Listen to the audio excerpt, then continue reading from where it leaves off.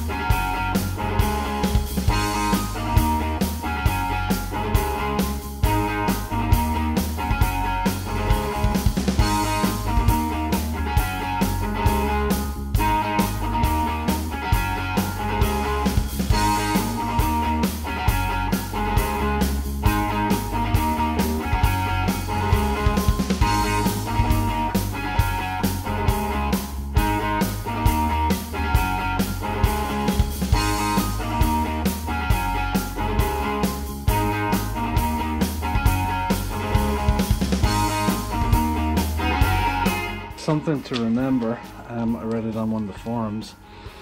Um, two little dimples here, one within the shaft and then one under the arm here, and they have to line up. And that's basically what actuates the brake here, so that when you pull the lever, it spreads the brake pads out and it starts to, to rub against the, uh, the housing um, of the wheel and slows the bike down. Rudimentary, but hey, they worked back in the eh, day, I guess.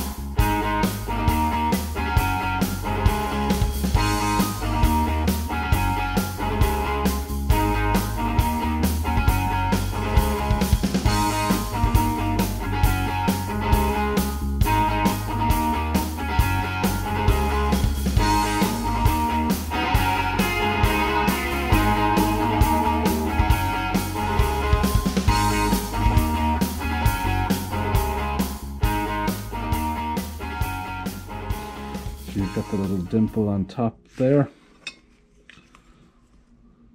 There. And then we're going to line up this guy and you'll notice that there's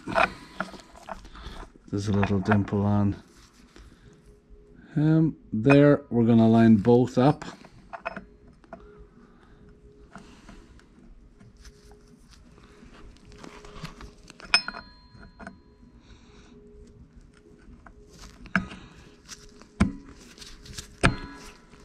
Okay, you see there? Both lined up. Um, one, we're missing a screw here, so I have to check through the bags here and find that. Um, great thing is I have it labeled, so it's in there somewhere. That's looking so much cleaner than it was when we started to fiddle around with it. So yeah, like I said, one thing you'll notice is that, well, from the direction of the brake, it's not pointing the right way. So easy fix, we just turn it around until it is. And now you see our brake works nicely and uh, our grease is doing well. It's not too messy either because we don't want it to be too messy. That's going to be a good break. Nothing going to stop us now apart from the brake. Hopefully that will stop us. Okay. Oh, we forgot something.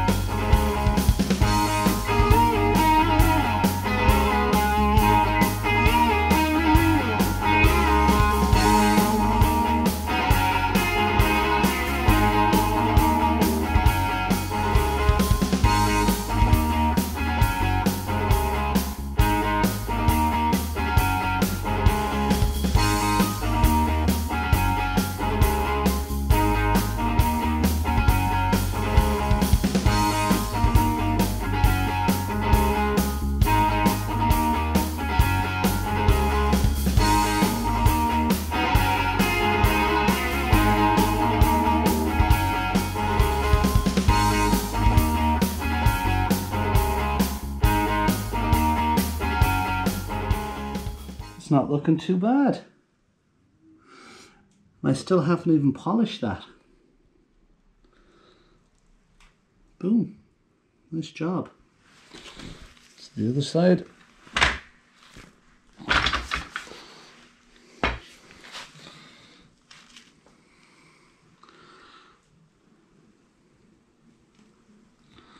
That's going to look real nice, especially with a new tire. Um, yeah, it's going to look real nice. Thanks for tuning in to Cafe Chronicles. Um, what did we do? Good question. Lots of like little bits and pieces. Did lots of little cleaning up bits and pieces on the on on the uh, brake, the the rear brake, the drum brake. We put on our new sh- shoes on there, which look good. We have it all greased up, ready to rock and roll. Um, also, our rear wheel we wire brushed it, we polished it, we got some of that pitting and rusting out, and it's really come up nice and bright. I'm really happy with it. Um, I think next we just need to give it a wash down. I'll give it a wash down with some soapy water.